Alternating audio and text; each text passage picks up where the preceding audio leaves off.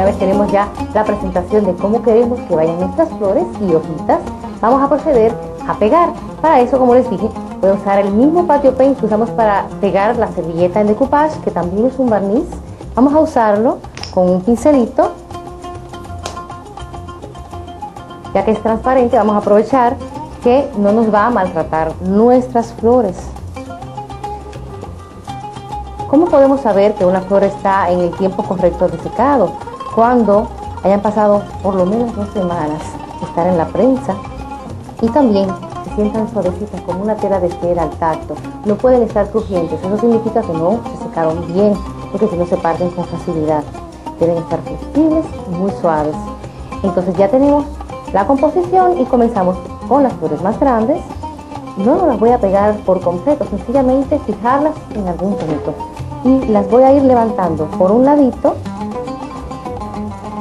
coloco el pegamento es transparente no importa que me salga un poquito. Y le puedo pasar por encima como hacíamos con las servilletas también ya que hay técnicas muy afines esa queda aquí. Para no perdernos debemos tomar siempre un cuadrante y pegar todo lo que está en ese cuadrante. Así no corremos el riesgo de dejar algo sin pegar. Así puede seguir. Cuando vayamos a trabajar con las flores pisadas es que si nos da un poco de brega tomarlas en nuestras manos, pues unas pincitas pueden ser de mucha utilidad.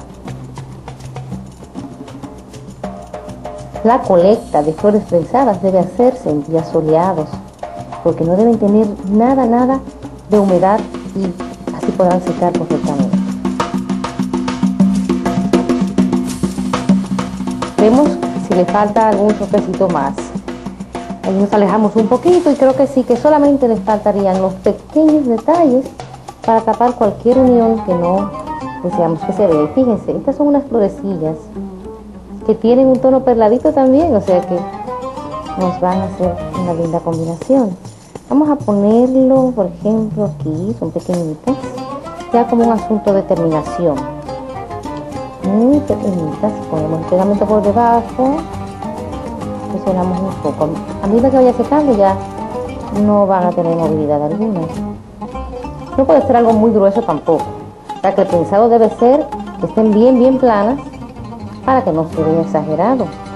Una forma de saber si ya mi trabajo está bien pegado es tomándola y soplando un poquito.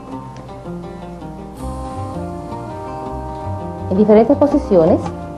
Vamos soplando para saber dónde hace falta pegarlos más.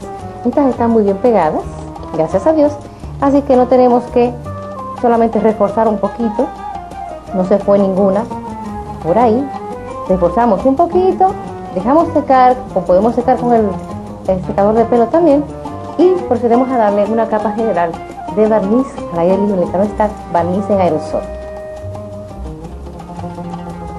A mí, para variar, me gusta añadirle también unos pequeños trazos de hojas fantasmas. Y para eso fue que puse aquí los colores verdes y un poquito de morado. Y lo voy a usar de una forma muy, muy, muy líquida porque es algo muy sutil lo que quiero hacer.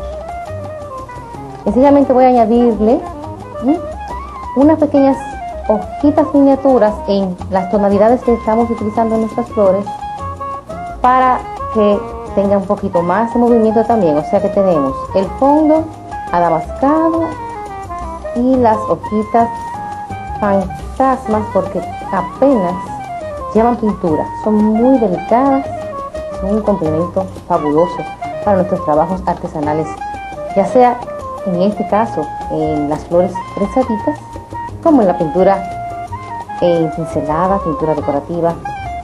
Muy, muy buen acompañante para nuestro trabajo. También le voy a poner un poquitín de verde y ya y voy a terminar con el pincel liner. Le quiero añadir unas estiquitas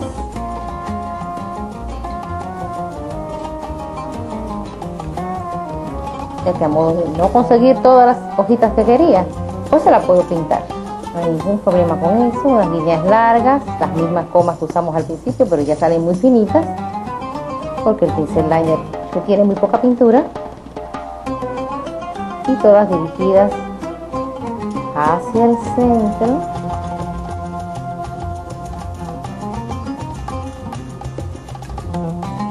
Hemos concluido esta parte, dejamos secar y vamos ahora a ponerle el aerosol eh, transparente para dar la protección final.